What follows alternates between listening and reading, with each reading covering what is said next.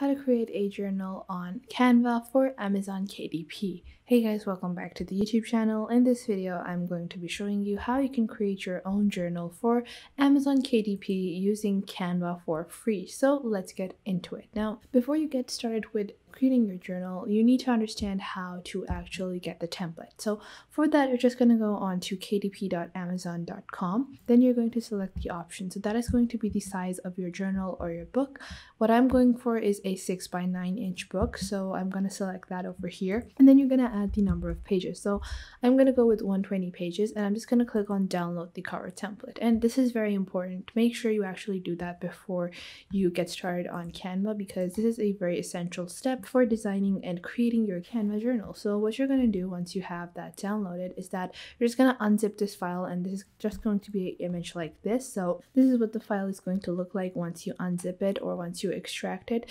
So it's just a template for you to work on. Now, this is very important because this will help you design your journal accordingly. So what you're going to do now is you're just going to go on to Canva and then you're going to click on custom size. You're just going to click on custom size and once you do that you're going to make sure to change it from pixels onto inches. Now make sure to do that. Once you click on custom size on default it, it is always on pixels and not on inches. So the first thing you need to do is understand how to make your internal pages. Now this is totally up to you. If you want to design your book cover and the book back first you can do that but I'm going to start off with the actual book size. So what I'm going to do is I'm just going to take a look at this. So you see that this is 6 inches and this is 9 inches, but you're going to be taking this entire as a canvas. So what you're going to do is you're going to make this 12 inches in width and then you have to account for the spine. So the spine is 2.9 width. So that already is 12.29.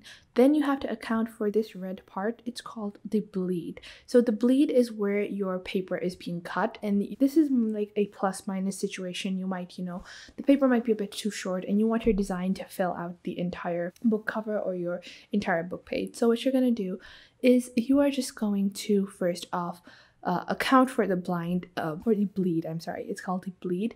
You're going to account for the bleed as well. So for the bleed it is 0.5 0.5 on each side. So it is going to be 12 so 12 is this plus this and then you have 2.9 plus 5 plus 5 12.52 in my estimate. So that's going to be 12.52 or 12.53 so what i'm going to do is i'm going to add the uh, width into 12.54 just to be safe I have increased the width by a point but that is just so my design fills out correctly now I have the height. Now for the height, you don't have to do a lot of maths. You just have the 6 inch length. Plus you're to add 2, 5 and 2, 5 for the top and bottom bleed. So it's going to be 9.25. 0.1.5 and 0.1.5 so it's going to be 9.25 we're just to click on lock over here and you're just to click on create new design. So once you have done that, you're just to go on to your uploads over here and you're just to click on upload media and you're just to upload the template that I just showed you, that image that we just downloaded off of Amazon KDP. We are just going to upload it over here. So you're just to open that up and I'm just going to upload it. Now, once you have uploaded it, you're just to click on the image and then you're to set it on the corners and then you're just going to expand it. Now, if you sized correctly, then it should fit perfectly onto your canvas like it just did on mine. So you can see that this fits perfectly on the canvas that I created. That means my calculations are correct. So you want to make sure that you do your calculations accordingly. Now, the spine width can depend on how many pages you have. I added 120 pages, so your spine width is going to be different than the spine width of my book if you have more or less pages and make sure that you're adding your measurements accordingly. Now, once you have done that, you're just going to click on transparency and you're going to make this semi-transparent to translucent so you can start with designing your book cover while having this in the back as a guidance or a reference on where to design. So I'm going to set this as 35 and I'm just going to click on lock. So this lock will enable me to not accidentally move this book cover and now I can get started with designing my journal. So what I'm going to do now is I'm just going to go on to elements and I'm just going to search for maybe floral background. I'm just gonna make this like a flowery notebook. So I'm just gonna go into the graphics section. I'm just gonna scroll down and find something that I like. This is a pretty cute little theme. Or I'm just gonna keep on looking until something catches my eye. Now you can select any kind of background that you want, whatever kind of aesthetic that you're going for, you're going to select accordingly. So I really like this one. This seems pretty interesting, so I'm just going to wait for this to load. And what I'm going to do is I'm going to make this semi-transparent as well. And you might be wondering, why are you making everything transparent? Well, the reason for that is so I can see the back template that I just placed. I want to be able to view that so I can accurately design the rest of my journal. So I'm just going to place this and I'm going to see where it fits perfectly so I'm just going to expand it out a bit as well and I want to make sure that everything is fitting accordingly like this so I think this seems pretty good now after I have done that, I'm also just going to click on this.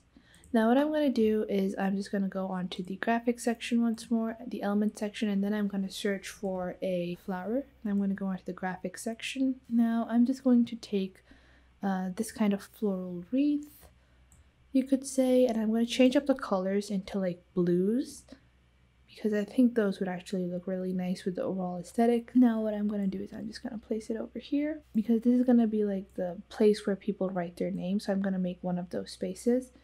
I'm just going to rotate this to 90 degrees. I'm just going to do Control C and Control V. So I'm just going to do that again. I'm going to do Control C and then Control V and you can see the flower has been copied. I'm going to rotate that like so. Now I'm just to place it on the other side like this and you can just zoom in on a singular page when you're designing so to make it a bit more easier for you i have designed quite a few journals so i'm just used to doing it like that and now what i'm just going to do is i'm going to search for box and what I'm going to do is I'm just going to go onto the graphics section and I'm just going to search for like a simple box or I'm just gonna search for square and I'm gonna search for that in the graphics maybe rectangle so this looks pretty decent but I'm gonna search along and I'm gonna find something else. I want something a bit different. Yeah, this is very cute. So I'm just gonna take this and I'm gonna add this over here like so.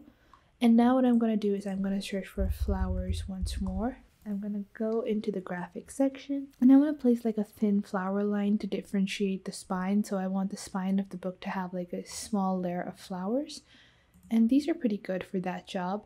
So what I'm going to do is I'm going to change up the colors to fit the color scheme. And I'm just going to change the green to a darker blue like this. And this, or maybe these. Yeah, I think this looks pretty good. So I'm just gonna place these over here on the center of the spine.